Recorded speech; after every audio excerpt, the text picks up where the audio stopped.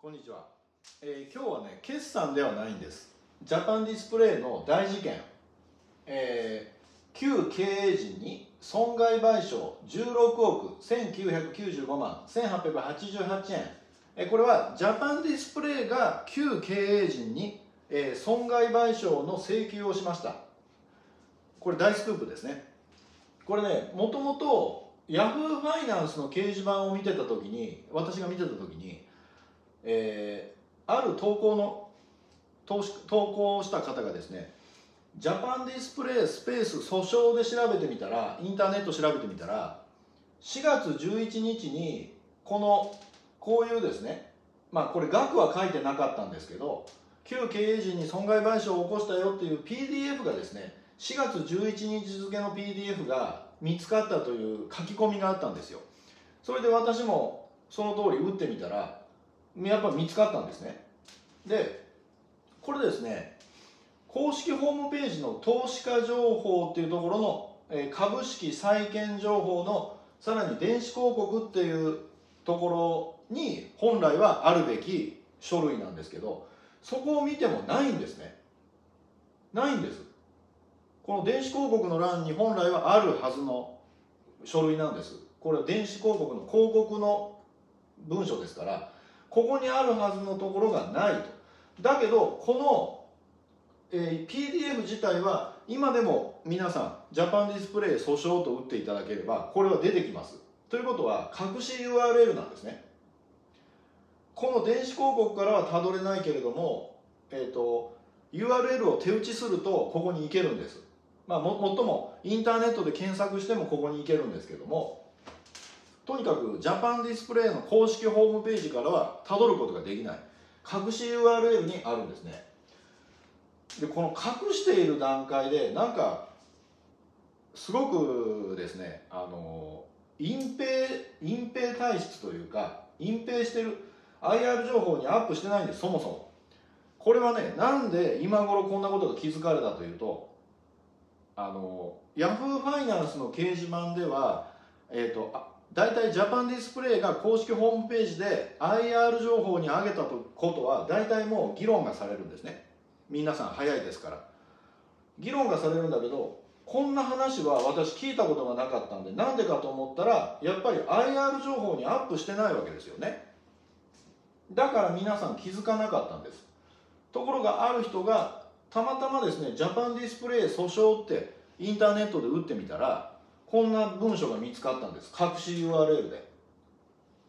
ね。これあまあ広告の、えーまあちょっと後で説明しますけどこういう訴訟を起こした時は電子広告しないといけないという決まりがあるんですけど多分ですね4月11日にどうでしょうね。電子広告の期間というのがどれぐらいなのかちょっとわからないんですけども1週間なのか1ヶ月なのかこの電子広告のえっと公式ホームページの電子広告の欄にもしかしたら1週間かそこら載ってたのかもしれないです。でも普通はここはねめったに見ないですよ。正直。だから IR 情報にアップしてないという時点で隠蔽的な意図を感じますよね、うん。だからここはですねこんな大事件なんだから IR 情報にアップしてほしいと思います。これはジャパンディスプレイの人もこここの動画を見てくださっていると思いますんでここはちょっとお願いしておきますね。で、えーその PDF には損害賠償の額は書いてなかったんだけどなんでこれ僕は分かったかというと今日、えー東京地裁に閲覧に行ってきたんですよ。この PDF に書いてあった令和5年和の701195これはですね東京地裁の民事事件の投資番号なんですね。ただしですね東京地裁の、えー霞が関の東京地裁でもないし立川支部でもないんです。これね最近できた中目黒のビジネスコートというのがありましてこれはあの恵比寿、まあ、中目黒の駅か恵比寿の駅かどっちからでも行けるんですけどあの目黒川沿いにある、まあ、非常にこう静かなのんびりしたですねえまあ今日私も行ってきたんですけどすごく散歩するにはウォーキングするにはいいところですね、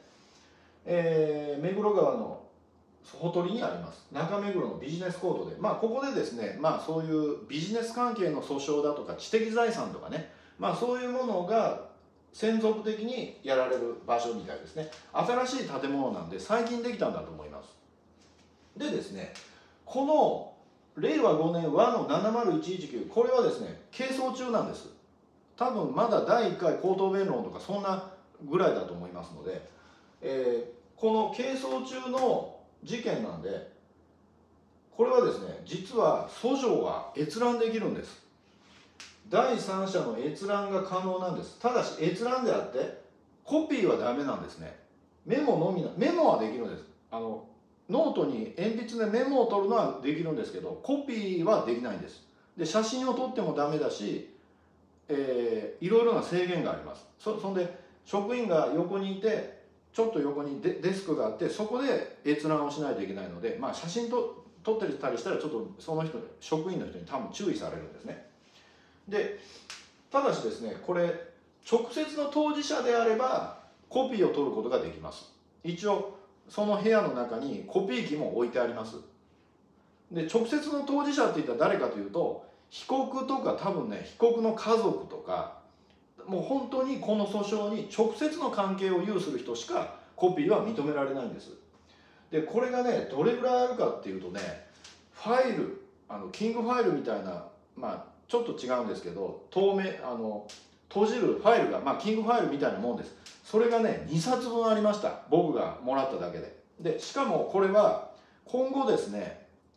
まあ、えー、これっていうのはジャパンディスプレイが訴状を出してでそれに書証って言ってあのいわゆる物証ですよね、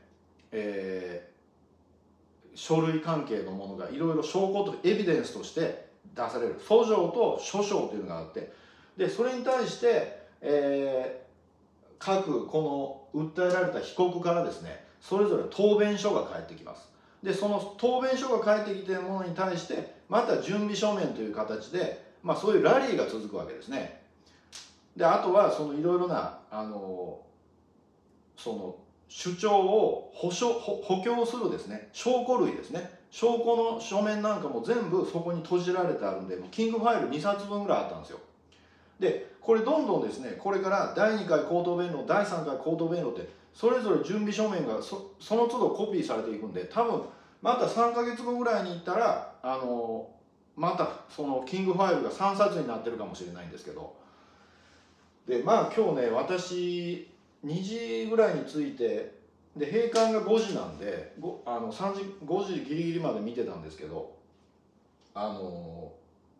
まあねあれ全部、まあ、まずどういうそのキングファイル2冊のうちどういう書類で構成されているのかをざっくりと私の頭の中で仕分けた後でどれが訴状でどれが答弁書でえどれが書証のこれでってまあ中にはですね書証といってもあの過去の決算単身のコピーなんかがずらっと並べてあったりあとはその決算の毎回ジャパンディスプレイさんが出すパワーポイントで決算プレゼンテーションが出てきますよね。ああいうもののコピーがななったりああとは会社の登記簿謄本の、えーと、全部事項ですね、えー、現在事項だけじゃなくて全部事項で履歴が全部だったらもうものすごい太い電話帳1冊分ぐらいになるんですけど。でああいうものが閉じられていたりしてまあ正直あんまりそんな今更読むようなものではないものもあるから大体ね読むべきものっていうのはそのキングファイル2冊分のうちの1冊のさらに80%ぐらいなんですけどであのー、まあちょっとねこれ書ききれなかったんで動画を前編と後編に分けてやろうと思いますんで。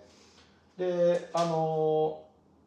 でですねこれねまあなんで16億も損害賠償をやってるかというと簡単に言うとあの2020年2019年とか2020年に不正会計の問題があったでしょ。うあの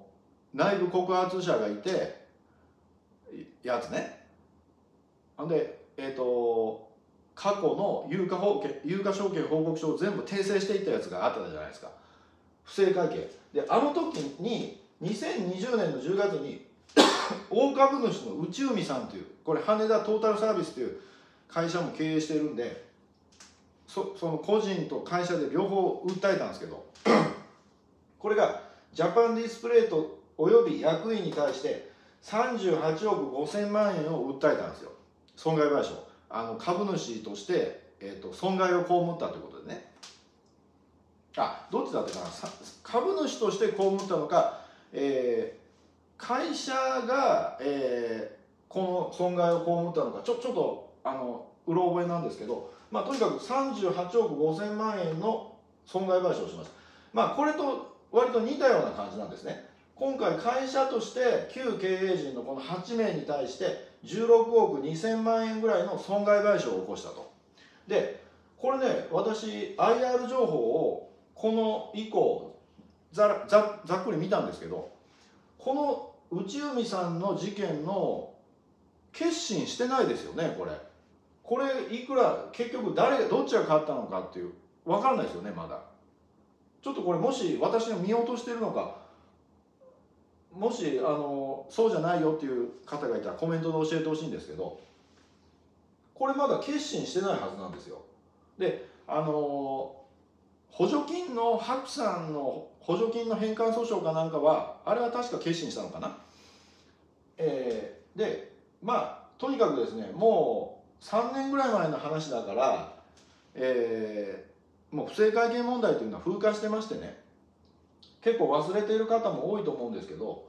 えーこの関係のどうやらですね内容のようです。どうやらと言ったのは何でかというとそのねジャパンディスプレイさんが第一発目に出した訴状のうちほとんどが黒塗りなんです。黒塗り。もうあの黒い黒になってるんです。だからそれはねあの閲覧制限というものをジャパンディスプレイさんが申し込んで裁判所が認めるとですね閲覧制限をやることができる。それは閲覧制限はどういうことかというと要はそれを全部開示してしまうとですねライバルの競合他社にとって有利な情報も含まれているからだという。まあそれが本当なのかどうかはちょっとわからないんですけどもとにかくですね訴状のほとんどは黒塗りです。それからそのエビデンスの諸々ももうほとんどが黒塗りでした。黒く塗ってないところもあったんですけどもうそれほとんどわずかでですねほとんどが黒塗り。訴状のほとんどが黒塗りだったんです。だけどあのこの組閣とかですねえその辺は分かりましたんであのちょっと詳しい内容は後編の方に譲りたいと思いますけどあのほんでこの訴状はですねインターネットでの閲覧はできません。これはもうこう中目黒に行くしか無理です。立川支部に行っても無理です、えーもちろんあの他の名古屋の裁判所とかに行っても無理です。これはねだから見に行くしかないです。でねあのまあね私がざっくり見てえっ、とまあ私もねこう見えてあの裁判自分でやってるんでね民事で2件やってあの民事で2件やって、えー、と行政まあ行行政訴訟に近いものも1件やってますし、まあ、これ訴訟というかね不服申し立てなんですけどね。であとはプライベートで1件あるのかな。でそれで結構ね私もまあ詳しい割と詳しい方です。素人にしてはね。あのなんだけどまあねあの分量が多いからその読むやつが。今日でも3時間読んでたんだけど。であん中でね読むに値するものはまず訴状でしょ。まあ訴状といったってほとんど読めないんだけど。あの一部読めるんでね。であとはあそう。東入力さんと東入力さんと月崎さんがタッグを組んでなぜかこの2人がタッグを組んで答弁書を出してきたんです。じゃああと後編でやりますけどなぜかこの2人がタッグを組んで答弁書を出してきてその答弁書が結構分厚い分量でで私はそれを読んでいる途中でタイムアップして今日帰ってきたんですけどでこれがねこの東入力さんと月崎さんの2人で出したですねあの答弁書が面白いです。であとね何があったかな。このね2人が出した答弁書に諸々でオツ大南豪賞っていうのがあるんですね。その訴訟の中にマル秘のね部外費の、あの会社内のねコミュニケーションを記した文章もあったりしててそそのそれが大体面白かったですね。うん。大体そんなもんだったちょっとねメモを取りながらやあメモ取らないと忘れちゃうんでね。まあちょっとその辺はまた後でやりますね。えとりあえずああそうそうそう。ほんでね羽田タートルサービスの内海さんが出した訴訟の